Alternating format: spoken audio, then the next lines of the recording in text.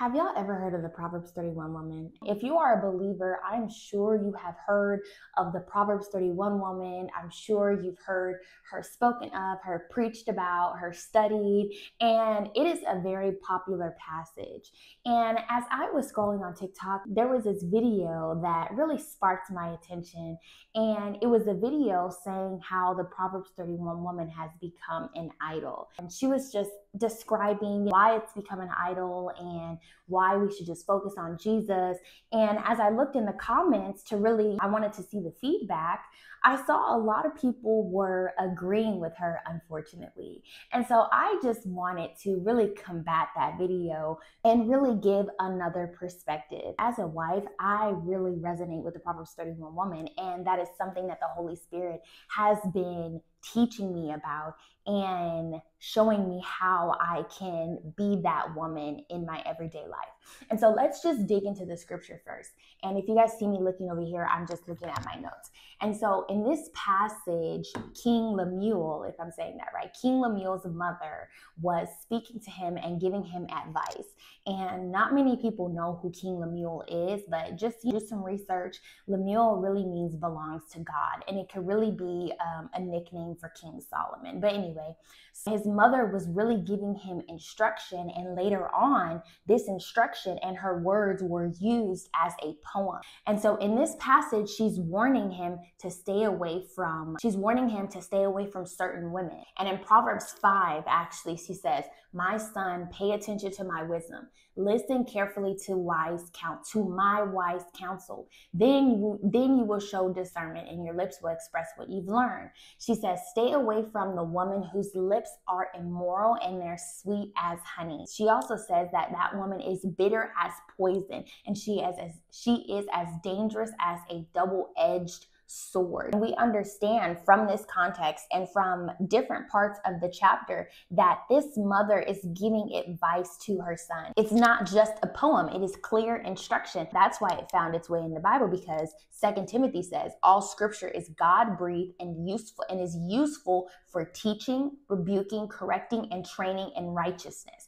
And this is what this scripture in this passage is being used as for teaching, rebuking, correcting, and training in righteousness. And not only that, the Proverbs 31 woman, she is the standard. It's not exactly what she's doing, every single thing that she's doing. It's the principles behind what she is doing. And I think the problem is a lot of women, they read this passage and they examine themselves and they say, this is not something that I match up to. This is not something that I'm even close to. So therefore, I'm going to shy away from it and I feel condemned. That is not what the scripture is supposed to do. I think we just really need to look at it differently. And so, and I understand while it is true that many things of that many things can become an idol. The things of God can become an idol. Striving to become the standard that God has set for his daughters is not one of them.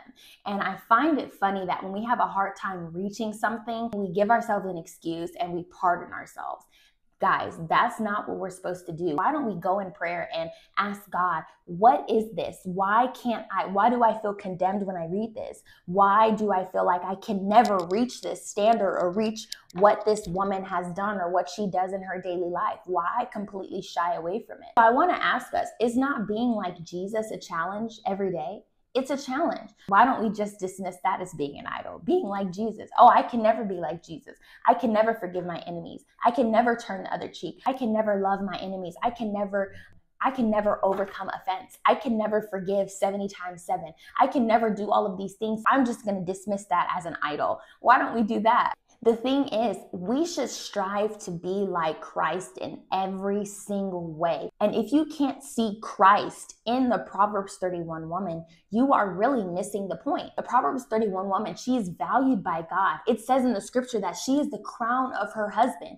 Why wouldn't she want to be that? Because the opposite is, is a woman who brings him shame with her foolishness and is like rottenness in her bones the Proverbs 31 woman, she's also a very hardworking woman. She's a diligent woman. She's a disciplined woman. She opens up her arms to the poor. And we know the Bible and we know the scripture says that lending to the poor is like lending to God. Why wouldn't she want to be that? She also sets provisions for her household. She sets provisions for her husband, her children, and her servants. Why wouldn't you want to be that? The opposite of that is lazy and a sluggard. And the, and the book of Proverbs mentions being lazy and a sluggard multiple times. Also, if Christ is the husbandman and we are his bride, what is the standard for the bride? You guys, we just have to start asking ourselves these questions. And I'm sure if Christ was here today and we asked him, What is the standard for your bride? He'd say, Go to my word. And in my word, what do we find? The Proverbs 31 woman.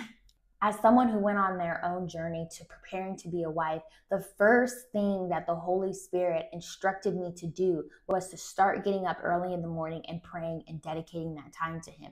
I started at 6 a.m. and I stayed at 6 a.m. until I got stronger. Then it moved to, I'm sorry, I started at 6:30 and then it moved to 6 a.m. Then it moved to 5:30. Then it moved to 5. Now I'm currently at 4:30 and I wake up at 4:30 and I pray, and that is the time that I dedicate to the Father. That's the time that I pray. That is the time that I meditate. That is the time that I seek instruction for the day, seek instruction for just anything that God has wanted to give to me. And many people may not understand the principle or the importance of getting up early, but maybe you should probably go and study the prayer watches. That would give you a better context and an under and an understanding of why you should get up at certain times.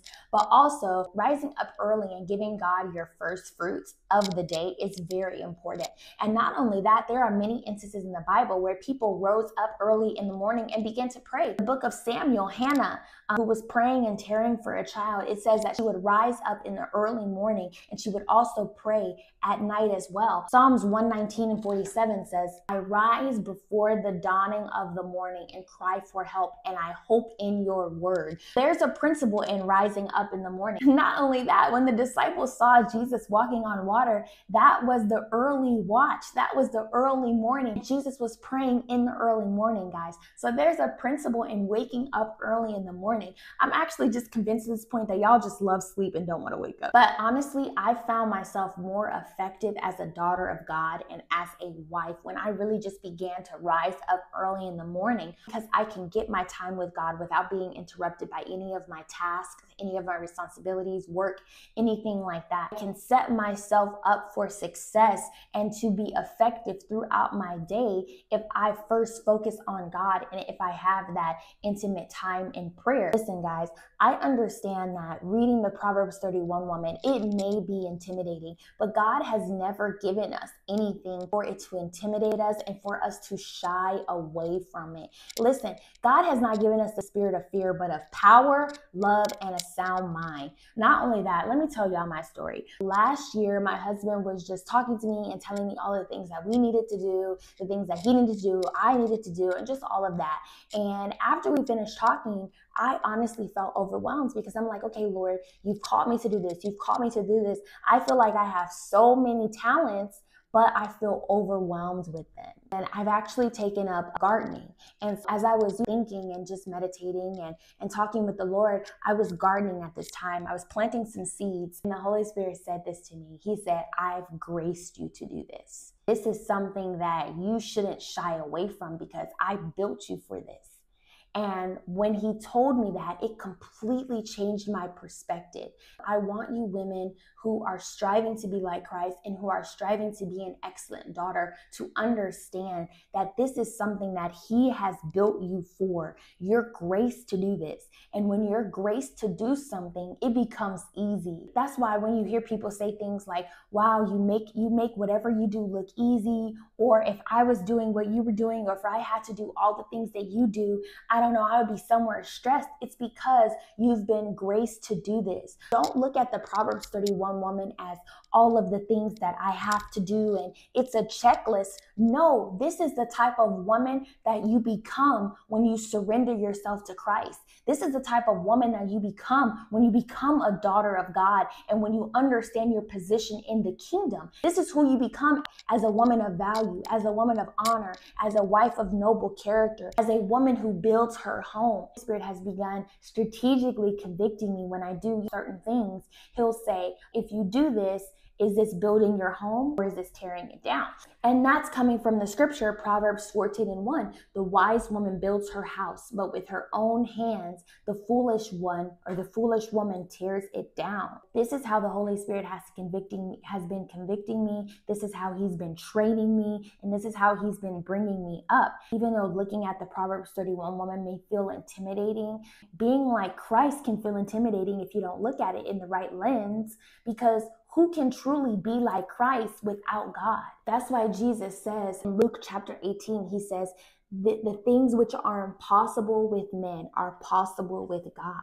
And so I would have to argue that you're probably looking at the Proverbs 31 woman in your own strength the reason why you're looking at it as this is something I can't do, this is something that I've never done, how can I do all of this? That's the wrong question to ask yourself. You should ask yourself, God, how are you going to help me do this? Because with God, all things are possible. You can do all things through Christ that strengthens you. Please don't just allow anyone to come and validate your insecurities, validate your weaknesses, and allow you to stay in that weakened state and to allow you to be content with who you are right now. No, being like Christ challenges us every day.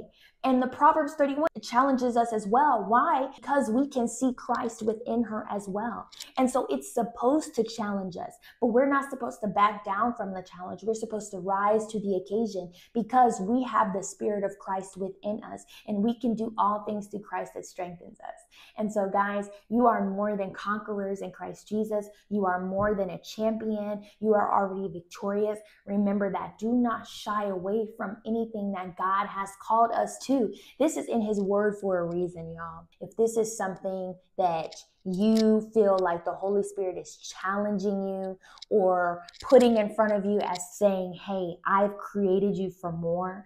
I created you to be honorable. I created you to be a wonderful wife and an excellent daughter. Do not shy away from it, but begin to pull on the strength of God, and you will find yourself doing things that you never thought you would do before. Remember, guys, to like, comment, and subscribe so that you'll be notified for future videos. And thank you so much for tuning in.